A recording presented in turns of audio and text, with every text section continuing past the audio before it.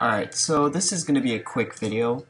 I have made the decision on my own to retire the series, as in like, there's a button called retire which you can literally just end the game right there. And whoever, basically the winner is the highest in points, so that means Rom's gonna win. But yeah, I don't see any chance of me winning, and to be honest, there's no real point in continuing to play the game, because other times where like, I got knocked knocked out, or I did poorly. That was like the Spain game, which I had my saves taken like later in the game, and I was kind of mainly more. I expanded way too rapidly. This one I expanded perfectly fine. Well, except the one settlement that got, or say that got taken. But in the Spain game, I actually had a chance of winning a victory. In this one, I really don't. Because in Spain gameplay, I was making more than all the RAA. I had like 250, 300 gold per turn everyone else was like funding the war effort. But now, pretty much Rom, I don't think he's stoppable at this point. Like, yeah, he is like, oh, Germany's actually one in manufactured goods. That's actually surprising. But, oh, wait, what? Persia's one in pop now? The capital is 26. Rome's is 29, though, so whatever. Their second team must be good. Alright, yeah, so I just don't really see a way to win. I don't think it's worth playing the series or continuing to. But so the retire button's right here. Just retire from the game. Oh, I'm actually not on last.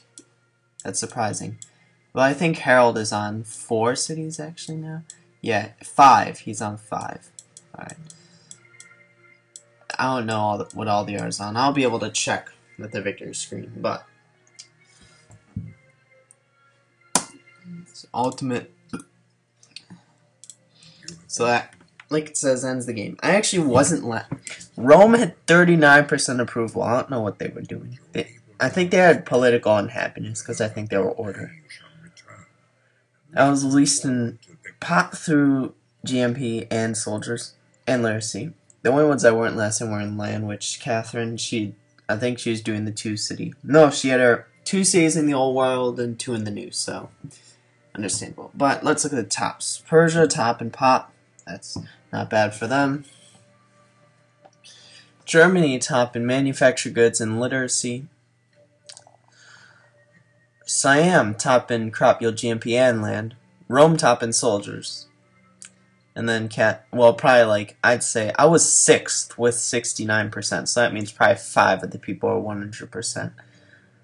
Because the average is kind of skewed by me and Rome. so, yeah. Let's go Nero. Oh, I actually didn't get Dan Quayle. That's not that bad. Alright, so replay. I cause I just kinda wanna see the map here. Let's see. So and uh oh I forgot I moved. Was I I think I was the only one that moved. I don't think the AI moves there sometimes. But uh yeah, so this is more so for deity, but if you get a bad start on deity, you should kind of just like quit the game and try a new one because it's deity. This doesn't really apply to immortal, but I'd say I had a pretty bad start. Persian, kind of everyone had a bad start except for maybe uh, Augustus because he kind of had a good start. Everyone else was kind of like just, just it's this wasn't really a good map for a good start. Last map I had an amazing start. See, so everyone's getting up their second cities. I just want to first, I'll pause the first one so you start changing hands. So once the first city, you gotta change hands. Oh no, I was wrong. So, the first city that changed hands was Catherine's. Or no, that was originally Rom City. It just got taken by Catherine. At this point, yeah. uh, Harald isn't doing well. He's on two. Uh, Darius is doing okay. He's on four. Uh, Rome's doing okay. He's on five. I'm doing okay at this point. I'm on four. Uh, Egypt's doing poorly. They're on two. I don't know why these two don't expand for some reason. Catherine got a fourth, so I guess that's okay. Germany is six. That's okay. And then Rom is just one, two, three, four, five, six, seven, eight. but then tons of cities changed. Oh, that was a city-state that was captured by Catherine, so it must have been liberated, or that it was captured. No, it was captured by Rom. And then Catherine liberated it. And then Rom got Harald City. Rom got uh, Germany City. Rome settled there. Next one, just right below them, Jesus. And then razed it to the ground. They captured, they built a new city in their old city location, captured one of Catherine's cities, and they built one city on crappy peninsula. They got my city, so that leaves me on three. Rome built a new one. So at this point, the three superpowers of the world who haven't really are kind of at this point Rom. He lost quite a few cities, but he also gained quite a few. Rome, they're just doing well. Same with Darius. So it's kind of these three. It's up to them. And then Bismarck, it's those four at this point. Me, uh, Ramses, Catherine, and Harald are kind of out of the game. That's when I sell this city. And then Germany should settle. Two new at this point. Alright, so by the time Germany settled this city, they got one more in the inland. Rome got two on the southern island. And there are quite a few settlements in the New World. Germany got one in the New World. I didn't notice that. Oh, no, I did. I can see it on the map just right here. So, Germany got one here. Catherine got her third up, which is inland. And then Persia eventually gets the third city in the New World. Four, actually. So at the very last turn, Rome actually gets a city in the New World. So yeah, pretty much I I don't think anyone could have won but Rom. Because Persia they were going for culture. Or at least that's what it looked like. Uh, because they had the most tourism. But they weren't beating Rom by a lot. So and I assume Rom has more culture since he has quite a few cities. So that's only a that's a logical conclusion.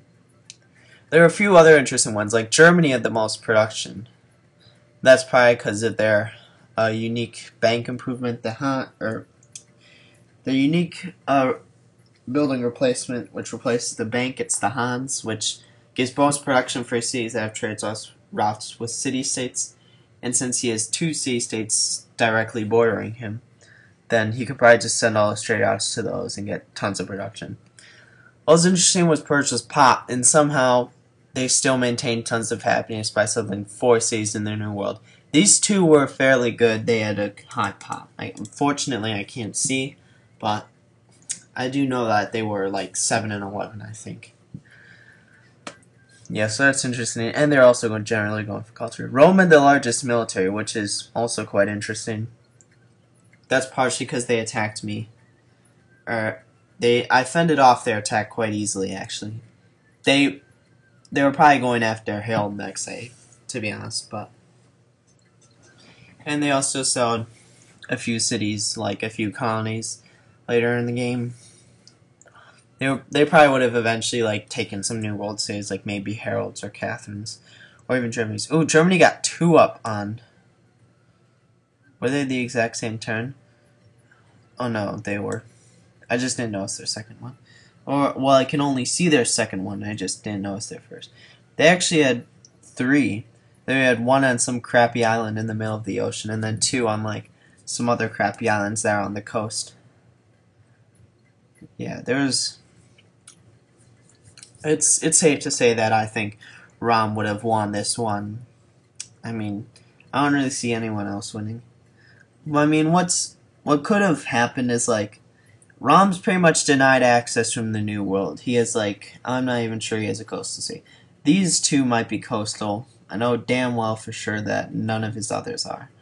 So I don't think he will have gotten to the New World. If someone like Persia, who has four cities, or Germany, who has three, if they, like, conquered the New World and kind of, like, completely colonized it, maybe they stood a chance. And Rome, of course. Don't count out Rome.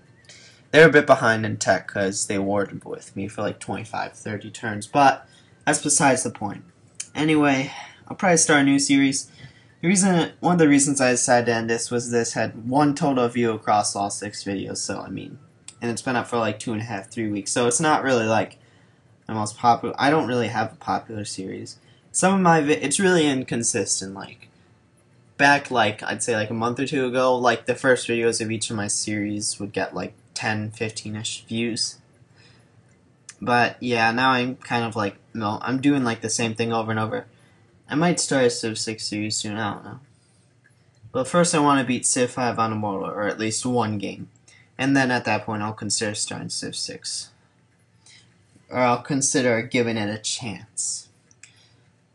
So, or maybe I should wait until the DLC for Civ 6 comes out. That's probably a better idea. But, yep.